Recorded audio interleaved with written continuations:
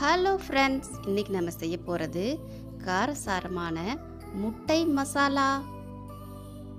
வாங்க எப்படி செய்கிறதுன்னு பார்க்கலாம். Welcome back to our channel without boring சமையல். நாலு முட்டை எடுத்து அவிச்சு உரிச்சு வச்சுருக்கேன். இதை இந்த மாதிரி ரெண்டு ரெண்டாக கட் பண்ணி வச்சுக்கலாம். இந்த மாதிரி முட்டை மசாலா செய்கிறப்போ ரொம்பவே டேஸ்ட்டாக இருக்கும். நீங்களும் ட்ரை பண்ணி பாருங்கள் இதில் அஞ்சு பூண்டு ரெண்டு பீஸ் இஞ்சி ஒரு அஞ்சாறு சின்ன வெங்காயம் ஒரு பச்சை மிளகாய் ஒரு தக்காளி கொஞ்சமாக புதினா தலை சேர்த்து அரைச்சி எடுத்து வச்சுக்கலாம். இப்போது அடுப்பில் ஒரு ஃப்ரை பேன் வச்சுருக்கேன்.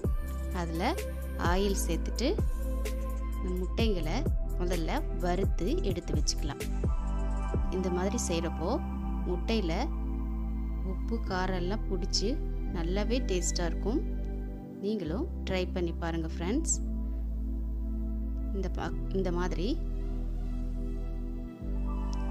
ஒரு பக்கம் நல்லா பொரிச்ச உடனே அடுத்த பக்கம் திருப்பி விட்டுக்கலாம்.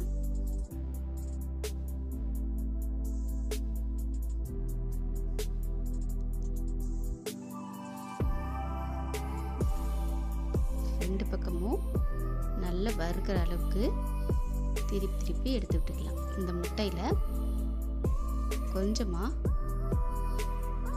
உப்புத்தூளும் மிளகுத்தூளும் தூவிக்கலாம்.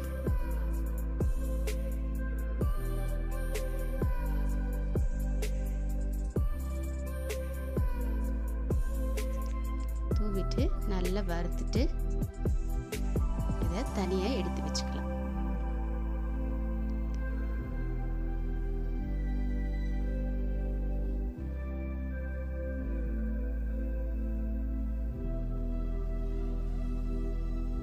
அதே கடாயில் அதே ஆயிலில் கொஞ்சமாக சோம்பு போட்டிருக்கேன். அதோட கருவேப்பிலை சேர்த்து நல்லா பொரிய விடலாம். இது சாம்பார் சாதத்தோட ரச சாதத்தோட சாப்பிட்றதுக்கு ரொம்ப டேஸ்ட்டாக இருக்கும். சப்பாத்தி பரோட்டா கூடையும் நல்லா சாப்பிடலாம். அரைச்சி வச்சிருக்கிற மசாலாவை அதில் சேர்த்துக்கலாம். புதினாலாம் சேர்த்து அரைச்சிருக்கிறதுனால ஃப்ரெஷ்ஷான வாசத்தோட ரொம்பவே சூப்பராக இருக்கும். இதில் அரை ஸ்பூன் மஞ்சள் தூள் ஒரு ஸ்பூன் மல்லித்தூள் ஒரு ஸ்பூன் மிளகாய் தூள் அரை ஸ்பூன் கரம் மசாலா தூள் சேர்த்து நல்லா வதக்கிவிடலாம் இந்த மசாலாவோட பச்சை வாசனை அரைச்சி வச்சிருக்கிற மசாலாவோட பச்சை வாசனையெல்லாம் போகிற அளவுக்கு எண்ணெய் பிரிஞ்சு வர அளவுக்கு நல்லா வ வதக்கி விட்டுக்கலாம்.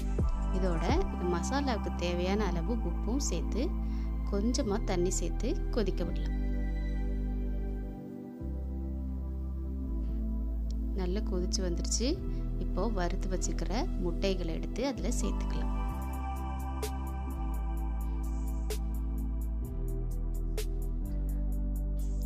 ரெண்டு பக்கமும் மசாலா சேர்ற மாதிரி திருப்பி திருப்பி விட்டு வேக விடணும்.